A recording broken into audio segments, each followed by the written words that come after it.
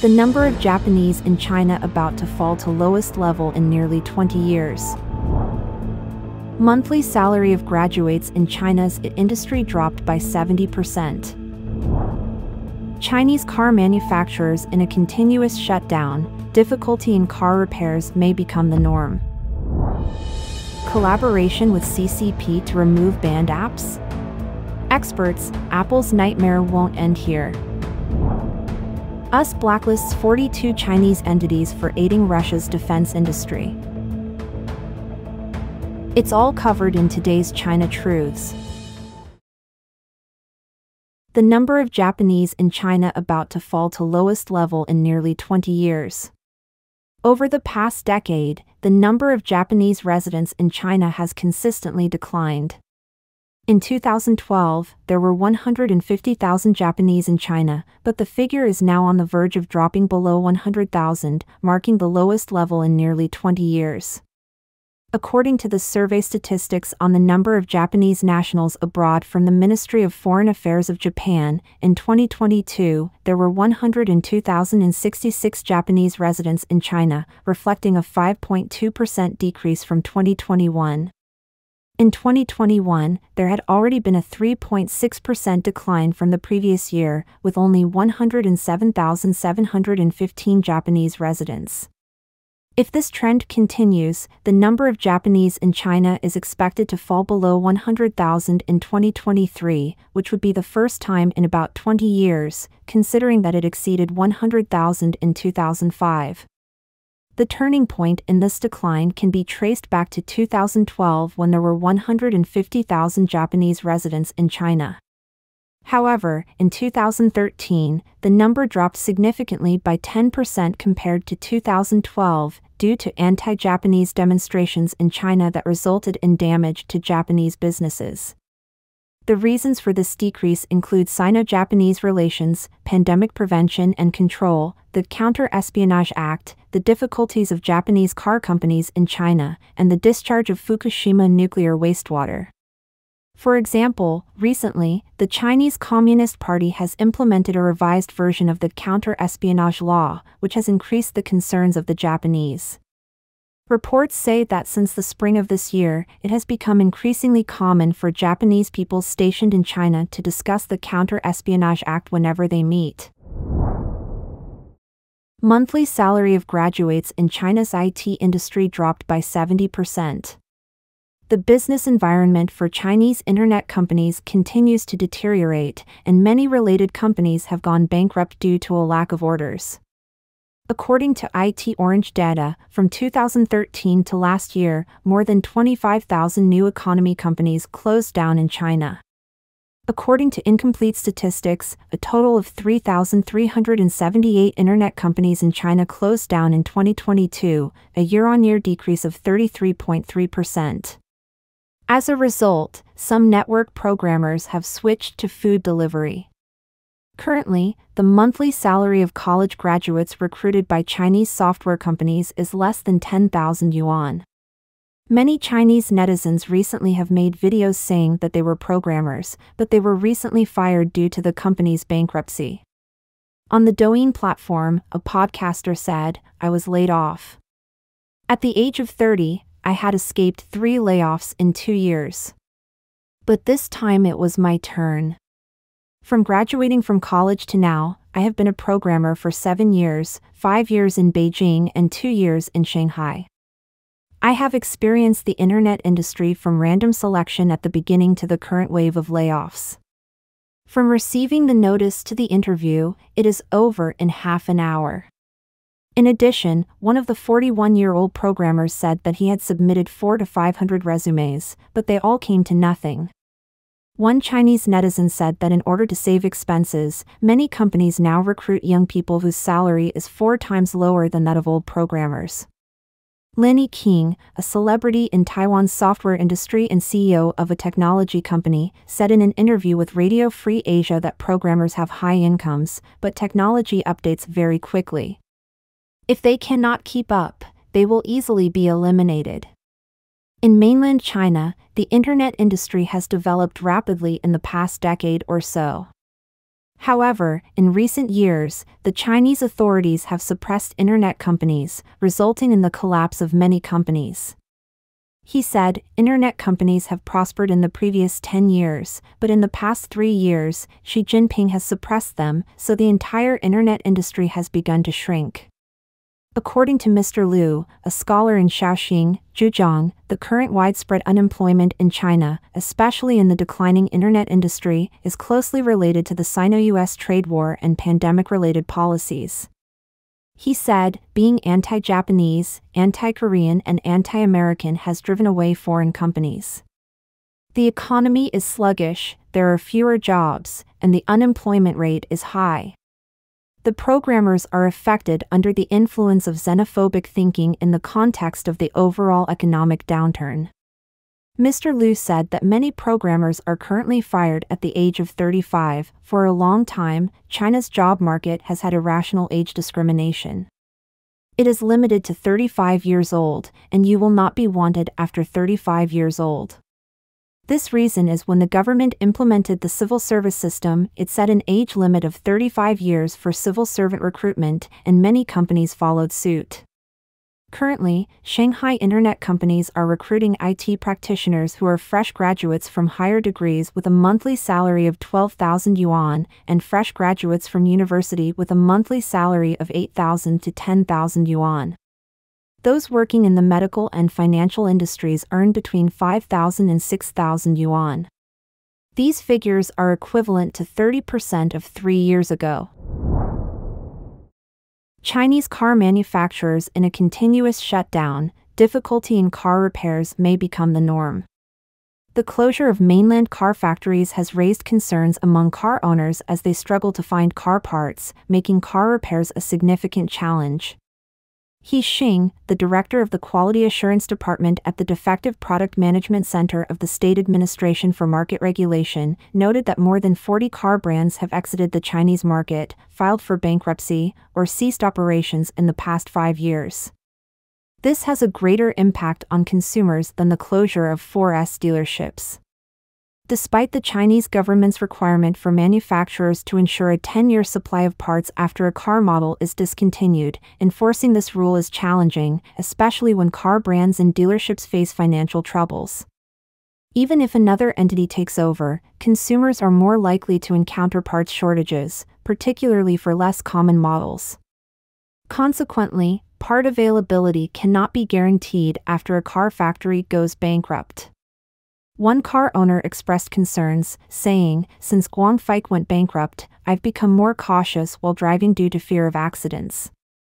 The lack of spare parts makes necessary repairs unaffordable. Before Guangfike's bankruptcy, there were over 200 dealerships nationwide, but now only a few dozen operate normally, forcing some car owners to travel long distances for repairs. Since October 2022, the Qingpu District Consumer Protection Committee in Shanghai has received nearly 90 complaints about WM Motor, citing operational issues, store closures, and difficulties in obtaining car parts. He Xing predicts that difficulties in getting car repairs done may become the new norm. Collaboration with CCP to remove banned apps? Experts, Apple's nightmare won't end here. Apple is currently in an embarrassing situation where it may have to cooperate with the Chinese government to remove tens of thousands of Western applications from the Chinese App Store. This statement was made by Liu Lipeng, who once served as a content censor for China's Sina Weibo and currently serves as the editor of China Digital Times, during an interview with Voice of America, VOA. According to Liu, despite Apple's willingness to cooperate with Beijing's censorship, even in the face of criticism from Western nations, it has still been unable to earn the trust of the Chinese Communist Party government. Against the backdrop of strained relations between the United States and China, the iPhone has become a thorn in the side of the Chinese government. Liu remarked, if Apple wishes to avoid becoming like Chinese companies that efficiently adhere to official censorship demands, it won't be long before those top apps are removed. The Chinese authorities introduced the regulation on the management of mobile Internet application information services in August of the previous year. This regulation mandates that platforms distributing apps must register with the Cyberspace Administration of China, CAC. However, when the CAC published its initial list of application distribution platform names and registration numbers on September 27, it was observed that the Apple Incorporated's App Store was absent from the list. Observers believe that the primary reason is due to the fact that Apple's App Store offers a multitude of apps officially banned in mainland China. These include Instagram, Twitter, Facebook, YouTube, and WhatsApp. Users who have downloaded these apps on their iPhones can still access these services by using virtual private networks, VPNs, to connect to foreign internet servers.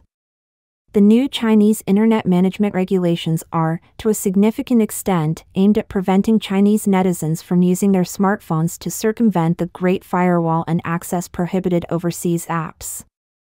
Earlier, the Wall Street Journal had reported on October 2 that Apple executives had engaged in multiple meetings with Chinese officials in recent months to voice their concerns about the new regulations. Due to the fact that numerous Western apps offered in Apple's iPhone App Store in China have not undergone the mandatory filing process with Chinese authorities, and it is unlikely that these Western companies will comply with the Chinese government's filing requirements, the new regulations dictate that Apple's App Store will need to remove these apps. Sources have indicated that Chinese officials have communicated to Apple the necessity of rigorously enforcing rules that prohibit unregistered foreign applications. Meanwhile, Apple has expressed concerns about the implementation of these rules and their potential impact on users. The relevant report from VOA quoted comments from Alexandra Gadzala Tirziu, the CEO of Magpie Advisory, a consultancy specializing in geopolitical crises and public affairs. Tirziu emphasized that the recent pressure placed on Apple Incorporated by the Chinese Communist authorities is primarily driven by political motives rather than economic ones. Some analysts have pointed out that, despite Apple's long-standing compliance with various demands and restrictions imposed by the Chinese Communist government, it still falls short of satisfying Beijing's expectations regarding censorship when compared to Chinese companies. Sam Howell, an assistant research fellow in the Technology and National Security Program at the Center for a New American Security, CNAS, candidly conveyed to VOA that Beijing's actions aim to replace foreign technology with products developed by domestic manufacturers and to close the loophole that allows Chinese iPhone users to download Western social media apps that are officially banned. Howell cautioned that Apple's future in China may become increasingly challenging as the Chinese Communist authorities have shown a strong desire to enhance government control over data and digital services. He believes that Apple is likely to be drawn into a political dispute between the United States and China. He also emphasized that, in the coming days, Apple will need to find a way to address dissatisfaction from various quarters. On one side, there are Chinese allegations that Apple isn't sufficiently filtering and censoring content. On the other side, there's pressure from Western public opinion that criticizes Apple for complying with Communist Party censorship and urges Apple to uphold its commitment to freedom of speech, privacy, and human rights. U.S. blacklists 42 Chinese entities for aiding Russia's defense industry the U.S. Department of Commerce stated on October 6 that it has added 42 Chinese entities to the export control list for allegedly supplying Russia's military and defense industry with integrated circuits that originated in the United States. A total of 49 entities were added to the entity list. Of these, 42 were based in China, and the rest were based in Estonia, Finland, Germany, India, Turkey, the United Arab Emirates, and the UK. According to the department, these companies were accused of providing Russia with microelectronics that it uses for precision guidance systems in missiles and drones launched against civilian targets in Ukraine. Alan Estevez, Undersecretary of Commerce for Industry and Security, said the United States won't hesitate to act against parties that facilitate the sale of U.S. origin items to Russia's military for its war against Ukraine. Mr. Estevez said in a statement No matter how convoluted the trail may be or how many hands items are passing through, if U.S. origin items are finding their way to Russia's military, we will work tirelessly to stop it. Assistant Secretary of Commerce for Export Administration Thea Rozman Kendler said the 49 blacklisted entities accounted for a significant portion of the U.S. origin integrated circuits that were shipped to Russia from March through July. Companies are added to the entity list when Washington deems that they pose a threat to U.S. national security or foreign policy. Suppliers will need to apply for a special license, which is generally hard to obtain, in order to ship goods to entities on the list. Assistant Secretary for Export Enforcement Matthew Axelrod said, Today's additions to the entity list provide a clear message. If you supply the Russian defense sector with U.S. origin technology, we will find out, and we will take action. But we also need the help of industry. We need you to exercise extra caution when shipping high priority items to customers abroad to help ensure those customers aren't then funneling those items to Russian missile and drone programs. The United States has been using the entity list to target China's tech sector and attempt to stymie Russia's efforts in its war in Ukraine.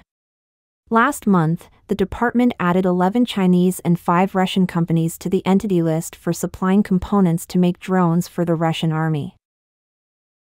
China likely providing support to Russia's military. According to an unclassified report compiled by the Office of the Director of National Intelligence in July, China's communist regime is likely providing Russia with military and dual use technology for use in Ukraine. The report reads China is providing some dual use technology that Moscow's military uses to continue the war in Ukraine, despite an international cordon of sanctions and export controls.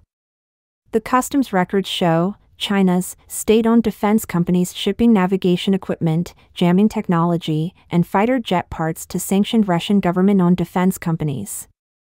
The Chinese Communist Party, CCP, which rules China as a single party state, has denied sending any military equipment to Russia.